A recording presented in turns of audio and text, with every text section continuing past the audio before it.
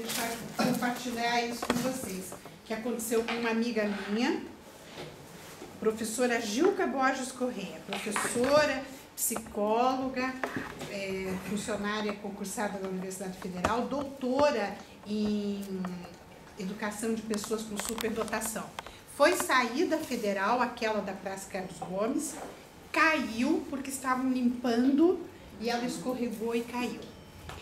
Fraturou as duas pernas, teve queimaduras seríssimas porque eles estavam usando um produto para limpar, ácido, que, que ela teve que fazer cirurgia por causa das fraturas, colocar uma porção de pinos.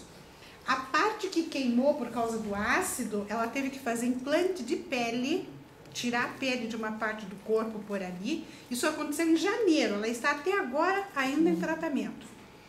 Bem, depois que saiu do Marcelino Champagnat, infeccionou os pinos, ela voltou, passou por nova cirurgia, fez não sei quantas horas daquela câmera hiperbárica, aí agora está melhorando, mas fazendo fisioterapias e coisas horríveis. Ela está há seis meses em tratamento, passou por todos os setores do hospital, do hospital Marcelino Champagnat, por uma queda na saída da, do trabalho dela ali na, na Universidade Federal.